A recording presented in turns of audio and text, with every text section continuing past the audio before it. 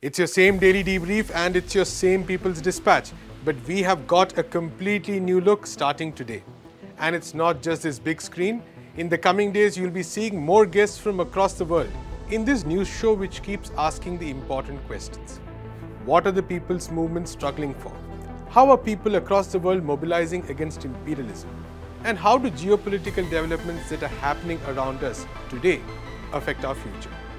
In this spirit, we go today to the summit between Russian and African leaders, think about what lies ahead for BRICS, and also take a look at the struggles in Latin America. But before you go any further, if you're watching this on YouTube, please hit that subscribe button under the video just so that you can watch future episodes of this show and other videos we produce from across the world. So there we have it. Let's start off with this revamped daily debrief.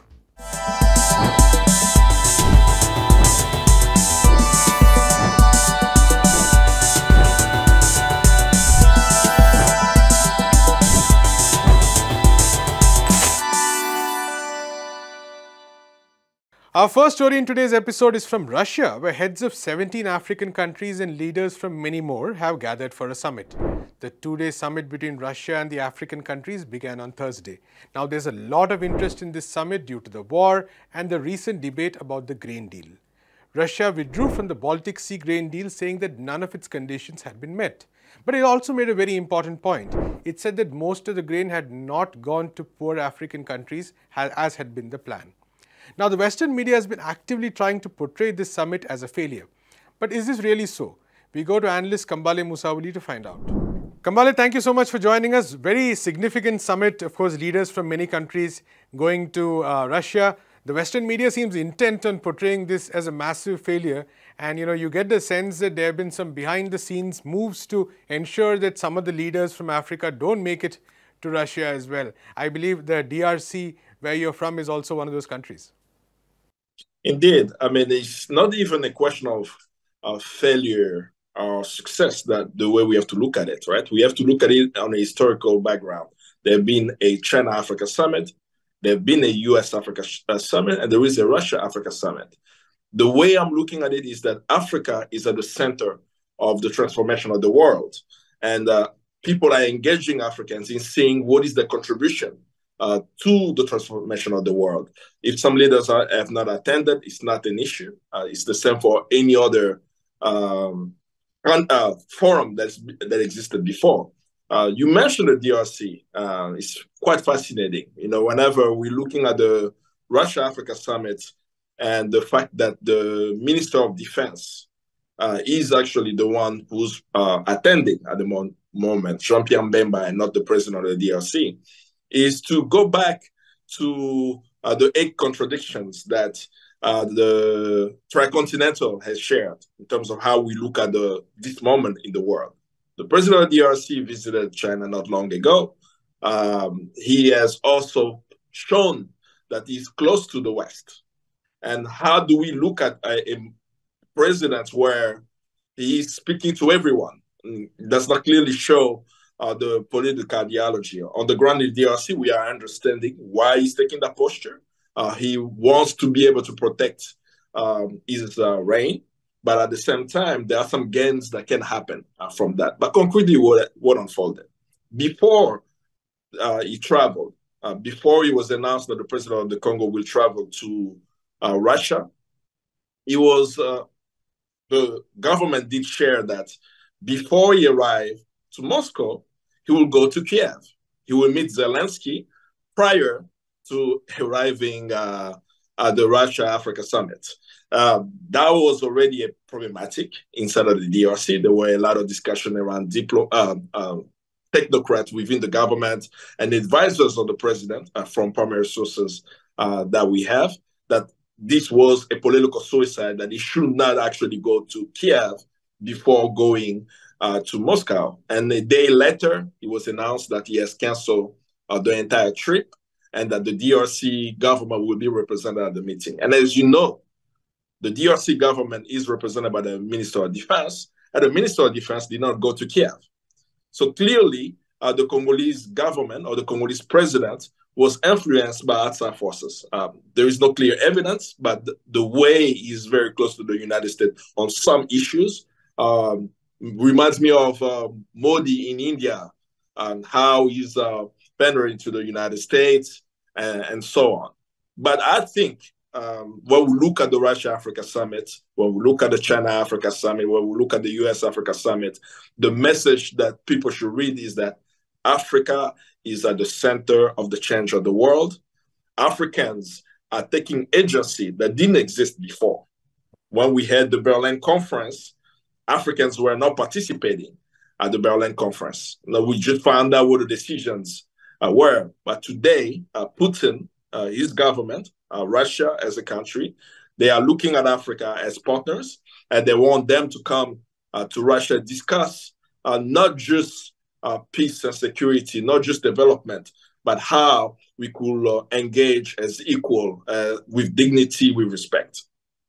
Right, Kamala, it's an interesting point, and I want to push that a bit further because if you look at a lot of the coverage, uh, one, it's centered on the fact, you know, there are two things that come up when these issues come up. One is there's talk about Wagner, etc., etc or there is talk about the grain deal and how you know African countries are really struggling without the grain deal. And of course, grain is an issue. We must talk about it. But I want to take the point you said, which is about the people in Africa, the countries of Africa being taking far more agency than before. So could you maybe elaborate a bit on that, especially the factors which are kind of contributing to it? Yeah, um, you mentioned Wagner, and that's something sometimes that uh, also get me a bit worried about the analysis. Um, I remember the United States went to uh, Iraq and Afghanistan and destroyed the world. And there was a mercenary group called um, Blackwater, if I recall. I don't remember these analysts speaking about Blackwater the way they're speaking about Wagner today. Uh, Wagner is a private company. Uh, they are working with some African countries, and these African countries have security objectives that they want to attain. They may decide to work with Wagner, they may not decide to work with Wagner. That's really a national decision, right? Countries deciding what would be good for them. Uh, specifically now for the Agency for Africa, this is really fascinating what is happening uh, right now. Um, and I will go back to the point about Ukraine. Uh, President Zelensky of Ukraine wanted to meet with African president at the African Union. Um, I think almost all of them did not attend that meeting at, at the African Union. Uh, he pretty much just spoke to a room of diplomats. Why did that happen? Right? Africans are saying we are in 2023. This is not uh, the time where there is European conquest or Western invasions. I mean, still ongoing. But Africans are saying that if we need to change uh, the conditions of our people, we need to get the expertise of the world. Humanity has a long history of how we solve problems. And there is not one country that has the monopoly on how to solve problems that African countries uh, have. So Africans are saying, we are going to speak to the east, to the west, to the north, to the south. Some nations are very clear about why they should speak to the east, why they should go to uh, China, why they should go to Russia. Because let's say, for example, in the case of China, China achieved one of the biggest feats in the history of humanity. They eradicated extreme poverty, right? Took out of poverty the majority of the population. Africans are looking at what is happening on our continent and say that we have arable land, we have resources, human resources, and natural resources. How can we harness that in a way where we don't destroy the environment, but we put the human at the center. We know we have the response, uh, the answer to that in Beijing. Um, and we're looking at also uh, Russia for energy, right? How can Africa uh, have electricity? Uh, how can Africa learn all the strategy of agriculture? So these African leaders, they're looking or some of them, of course, uh, what they can learn from the world to improve the condition of their people. Uh, unfortunately, uh, the West, particularly the United States, uh, sticks to have a monopoly on who uh, the African people have to engage with. And African leaders are saying no. No, that's why are you're seeing um, many African, I think over 40 of them, are currently uh, in Moscow uh, to discuss how they could work uh, with Russia to improve the lives and the conditions of their people.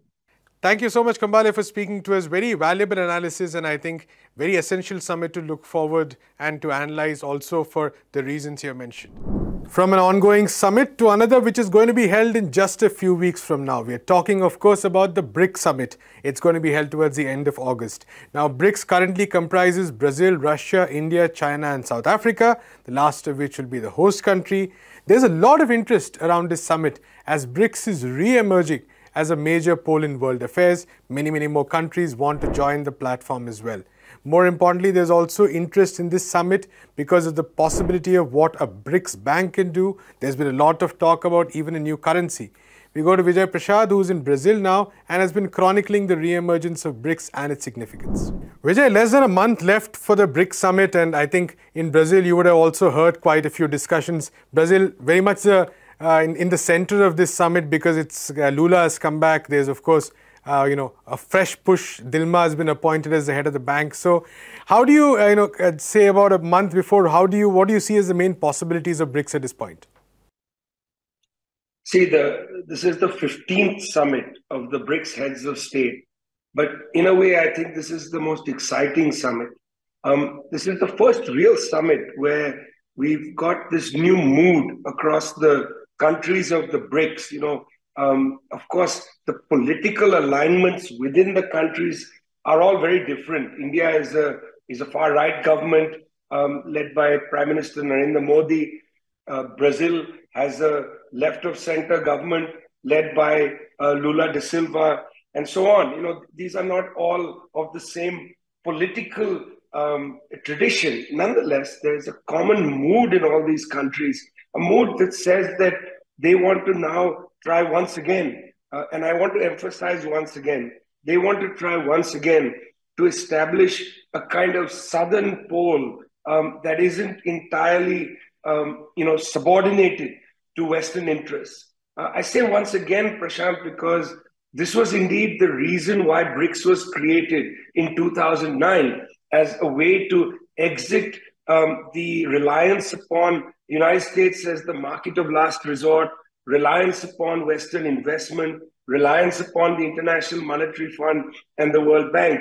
Well, that first attempt to establish some sovereignty for these countries, or at least create separate institutions, didn't quite take off. The institutions were created, but they were pretty hollow.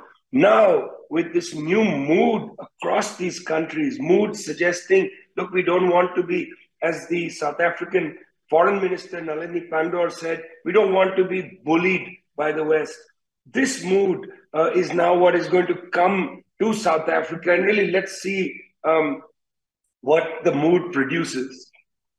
Right, Vijay, of course, that's a very important point you made because we're talking about, say, the BRICS Bank, the possibility of a new currency, etc.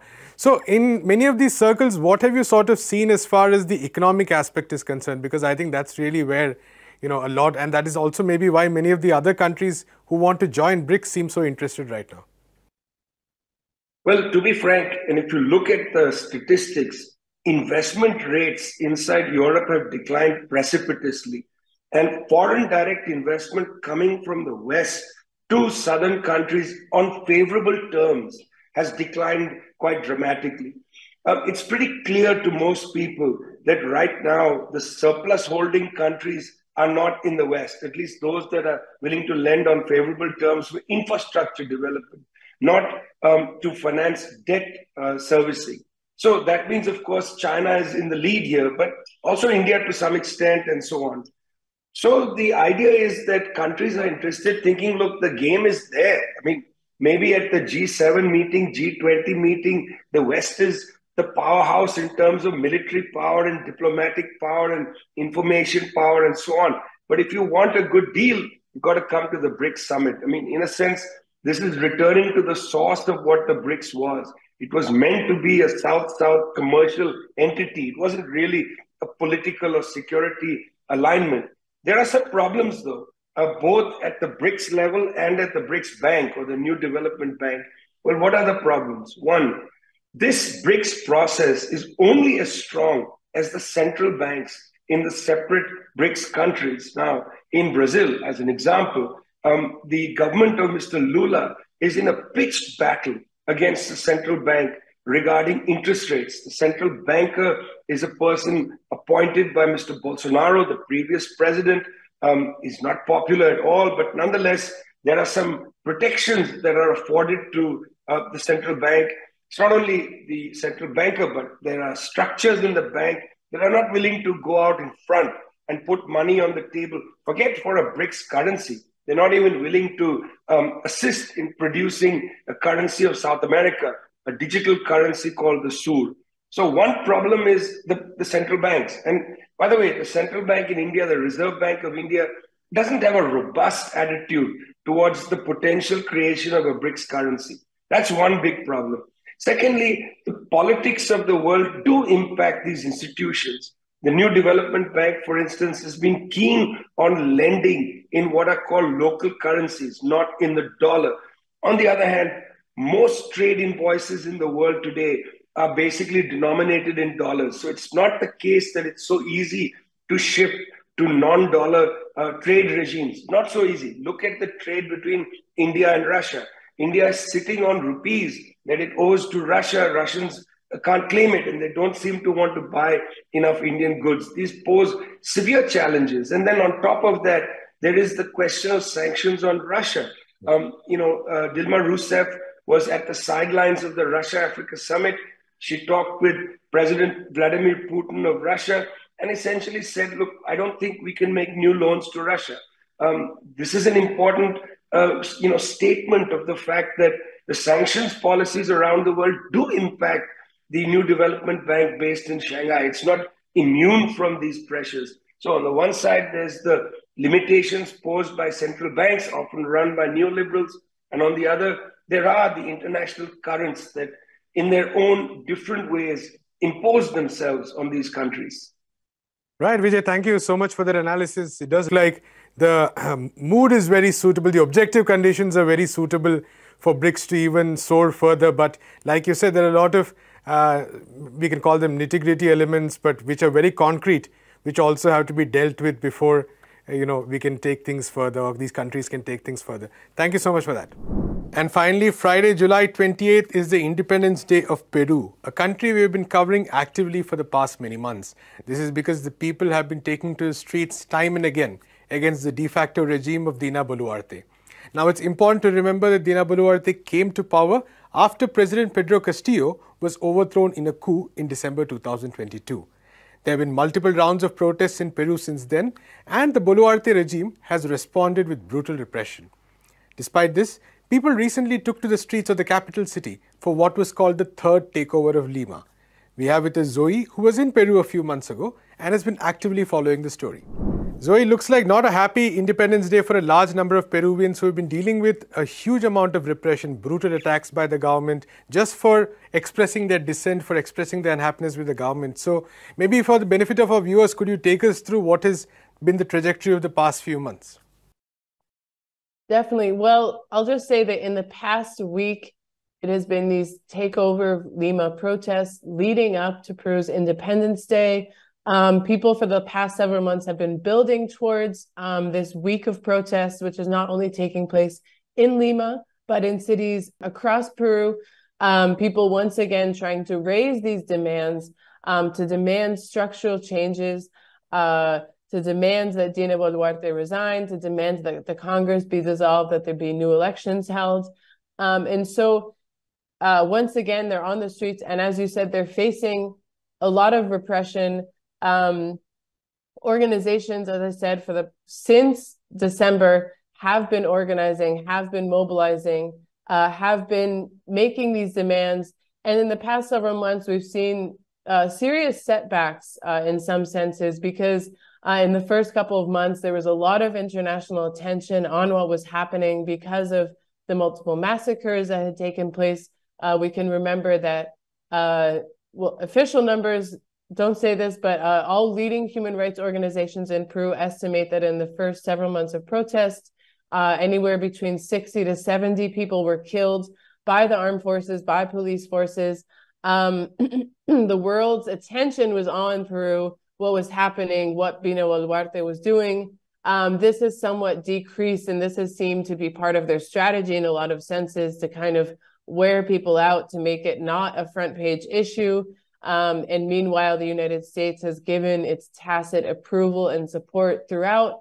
Um, and in recent months, uh, some of the positions that Dina Boluarte previously held, such as being more open to maybe changing the date of elections, has shifted. Uh, she seems to be more emboldened than before. She, in June, said that she did not see that she would be set, stepping down anytime before 2026. Uh, her uh, the sects of power in the Congress that have uh, rallied behind her, the far right parties, which traditionally uh, supported the Fujimorista trend, have also um, really uh, consolidated their support behind her and even made alliances with other parties from the left and from, or formerly from the left, maybe they can't be considered left anymore. Um, so there's been uh, a strong kind of rallying behind this government, uh, despite what is an outstanding and utterly complete rejection of the government by the people. Um, a recent poll said that 90% of people in Peru 90% do not approve of the Congress, 80% do not approve of Dina Boluarte, and 70 want a new constitution. So all of these moves that are being made in Congress by the end Dina Boluarte are completely not a reflection of the desires and of the will of the people. And that's what's uh, especially concerning that despite the fact that there's this mass popular rejection, people on the streets mobilizing against her, um, she still is able to consolidate this power despite being isolated internationally as well. Um, she's still kind of moving forward and completely uh, disrespecting what the people actually want. Right. Uh, Zoe, also to sort of uh, get a bit more detail on the current ruling regime in Peru, we know that uh, Dina Boluarte herself, uh, you know, was, uh, you know, associated with Castillo before. But uh, there's been this coalition of various interests, like you said. So maybe could you take us a bit more into, you know, what are the sections that have come together to run this government, which is very clearly unpopular?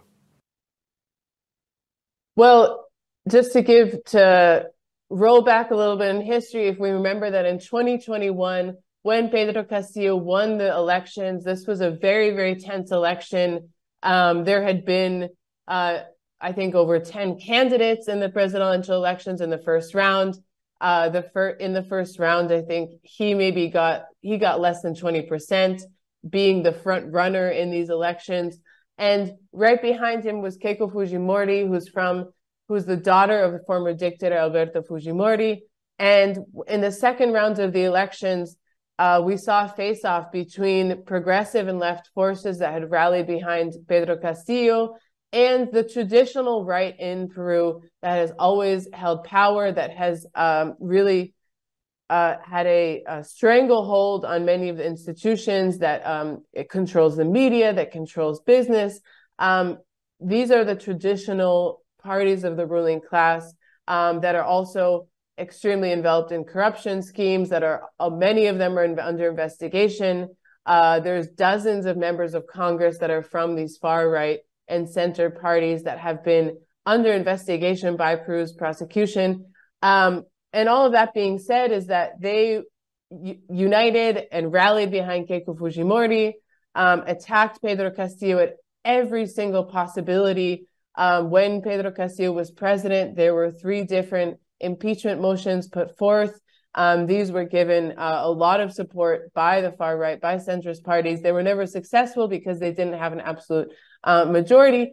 Um, however, once the coup actually does take place, Dina Boluarte quickly proves that actually she, uh, despite having been the vice president of Pedro Castillo and having come from the Peru Libre Party, uh, she was quite willing uh, to fall in line with these right wing sectors that, for all of these years, had been rallying behind uh, uh, Fujimori had been and had been trying to tear down Pedro Castillo. Uh, and so these are the major sectors that have been supporting her. Um, if you look at who's in her government, it's very clear.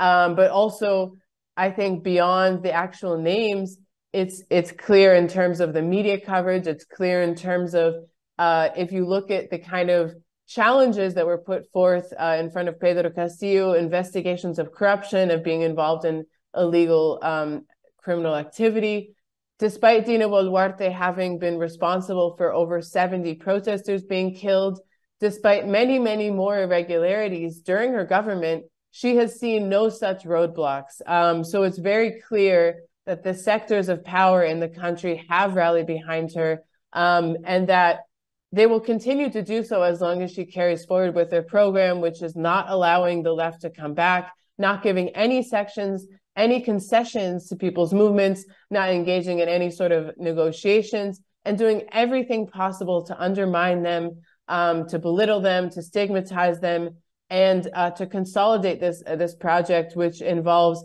denying people rights. Uh, Pedro Castillo was very bravely actually trying to take on many of the vested interests in the country, mining corporations, oil corporations. Um, he also wanted to tackle the issue of informal labor uh, and subcontracting in Peru, which is one of the major uh, forms of employment. The majority of people are employed in the formal sector. He wanted to actually create more stable jobs, dignified jobs, and this is the response. So um, it's very important to understand that despite her having been part of this left party, all of the major sectors of power have completely rallied behind this, and it's they've made it possible for her to continue in government and to continue with a minimum level of governability.